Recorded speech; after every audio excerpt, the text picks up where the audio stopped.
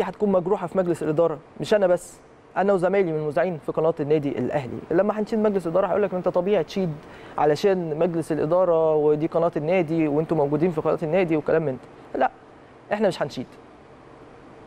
إحنا هنسيب الناس هي اللي تحكم على دور مجلس إدارة النادي الأهلي. خلال الفترة اللي فاتت مجلس الإدارة عمل إيه؟ عمل إنجازات كتيرة جدا. سواء على المستوى الإنشائي تمام؟ المستوى الرياضي المستوى الاجتماعي. فإنجازات فعلا ملموسة. المستوى الرياضي بيتمثل في إيه؟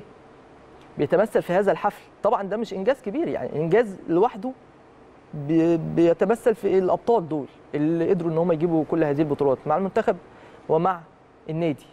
فأنت دورك كمجلس إنك بتشجعهم وإنك بتكرمهم. ده دور مجلس الإدارة. في وعي كامل للجانب النفسي بالتحديد من قبل مجلس إدارة النادي الأهلي في التعامل مع الأبطال. طالما أنت فرحتني سواء كنادي أو كمنتخب لازم أنا أكرمك. ده دوري كمجلس إدارة. تمام؟ ده فيما يتعلق بالمستوى الرياضي. وبالمناسبة المستوى الرياضي هيبقى فيه تطور أفضل وأفضل وأفضل من كده كمان بالنسبة لمجلس إدارة النادي الأهلي من خلال هذا الاهتمام الطبيعي والبديهي اللي دايما بيكون بالرياضة في النادي الأهلي. طبعا كرة القدم أهم حاجة أكيد. يعني عشان برضو نبقى منطقيين أهم حاجة هي اللي في الوش دايما كرة القدم. آه، هتحس بالنجاح أكتر لما كرة القدم تعمل الإنجازات وتجيب البطولات. وأهمها بطولة دوري أبطال أفريقيا عشان ابقى منطقي مع حضراتكم يعني. وإحنا بنتكلم هنا واحد من جمهور النادي الأهلي. الأهم إيه بالنسبة لنا؟ طبعا كرة القدم. لكن ما ينفعش نغفل دور أبطال النادي الأهلي اللي رفعوا اسم النادي ومنتخب مصر في كل الألعاب. وده هنا بقى أنا بتكلم على إيه؟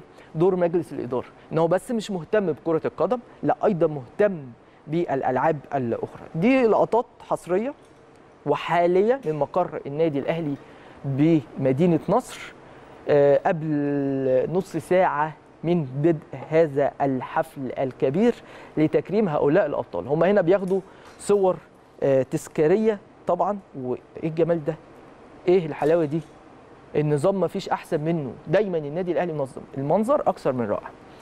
الترابيزات أهي زي الفل حاجة جميلة تنظيم وتنسيق آه، جيد جدا جدا جدا من خلال الصور أهو. إحنا شايفين الصور مع بعض.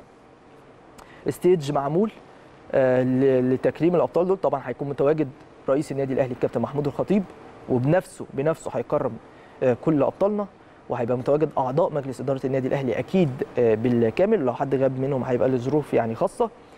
لكن هم كلهم حريصين أشد الحرص الحرص على تكريم كل آه، نجومنا.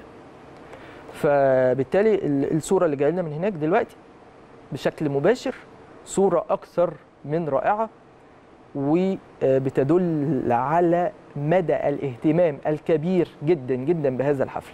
معمول كمان في منطقة رائعة يعني منطقة آه، بها حمامات سباحة هي منطقة ترفيهية جديدة يعني في آه، آخر مكان في مقر النادي الأهلي مدينة نصر اللي راح زار, زار هذا المقر يعني. وأول مكان من البوابه الخلفية للنادي لكن في العموم كنا بنتكلم عن دور مجلس الإدارة اتكلمنا على الجانب الرياضي وإن جه وقت تكريم أبطالنا في الألعاب المختلفة بخلاف كرة القدم وده اللي بيحصل خلال هذه اللحظات واللي هيحصل خلال الساعة القادمة بإذن الله. كمان الدور الانشائي مجلس إدارة النادي الأهلي على مدار الفترة اللي فاتت وإحنا هنا بنقول لكم وبنعرض عليكم الإنجازات أو إيه اللي حصل. وأنتوا قيموا قولوا دي إنجازات ولا مش إنجازات. لكن اللي بيحصل هو اللي بي- بيعبر عن نفسه في الحقيقة يعني. شغل على أرض الواقع كان واضح جدا مجلس إدارة النادي الأهلي.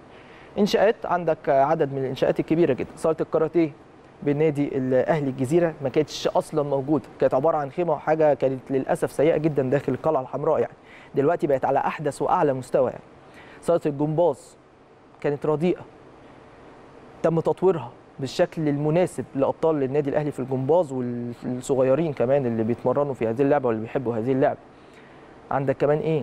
عندك في مدينة نصر مجمع المطاعم من شهر ونص كده ولا شهرين تم افتتاحه كان حاجة جميلة قوي عندك كمان المنطقة الترفيهية الجديده واللي دلوقتي هيكون فيها الحفل ومن أسبوعين بالظبط تم افتتاح آه، هذا أو هذا المكان أو هذه المنطقة يعني.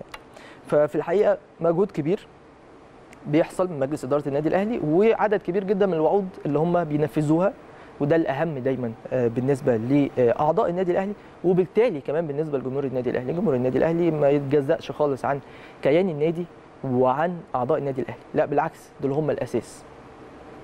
هم وطبعا أعضاء النادي يعني. دول عشانهم بيتعمل كل حاجة عشانهم بيبقى فيه اهتمام بكل الجوانب في القلعة الحمراء من قبل مجلس الإدارة بالمناسبة برضو دايما بيبقى فيه إنجازات لمجالس إدارات النادي الأهلي مختلفه الحالي السابق قبل السابق الكل الكل بيعمل لمصلحة الكيان ومصلحة النادي الأهلي وده اللي إحنا دايما نبقى مستنيينه من أبناء النادي الأهلي لما بيكونوا في وضع أو موضع المسؤوليه وفي الحقيقة بيكونوا على قد المسؤولية بشكل كبير جدا جدا يعني.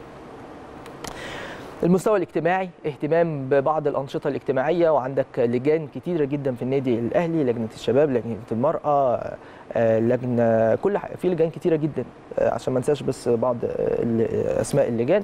لكن في كل الأحوال اهتمام بالجانب الاجتماعي باعضاء النادي الأهلي شيء مميز وملموس على أرض الواقع داخل القلعة الحمراء وكله بيبقى من خلال توجيهات مجلس الإدارة برئاسة الكابتن محمود الخطيب.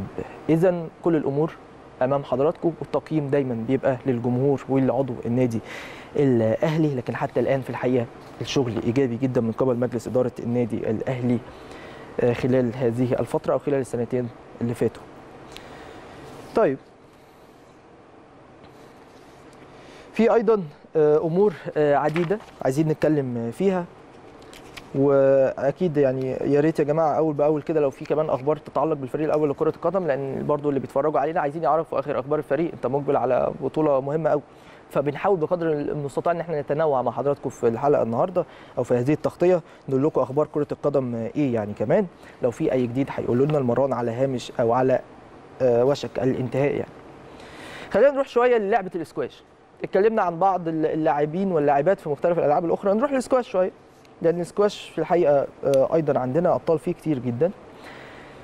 خلينا نبتدي بمصطفى محمود عسل. مصطفى عمل إيه؟ خد المركز الأول بطولة العالم للشباب تحت 19 سنة والتي أقيمت بماليزيا للعام الثاني على التوالي. حصل على المركز الأول ببطولة إنجلترا المفتوحة للشباب تحت 19 سنة. ده من ضمن الإنجازات في السكواش عندك أمينة آه، محمد حامد. دي كمان حصلت على المركز الأول لميدالية ذهبية ببطوله هونج كونج الدولية لمرحلة تحت 13 سنة. ناشئات وحصلت على المركز الأول ببطولة إنجلترا المفتوحه للسكواش لمرحلة تحت 13 سنة ناشئات. عندنا كمان يوسف هشام سالم حصل على المركز الأول لميدالية ذهبية ببطوله هونج كونج وعندنا آدم محمد حسين خد المركز الأول والميدالية الذهبية. في بطولة هونج كونج الدولية تحت 11 سنة. يوسف كان تحت 13 سنة. مروان محمود آه، كمان آه، مروان محمود عسل المركز الأول تحت 11 سنة للبطولة العربية للناشئين واللي كانت في القاهرة.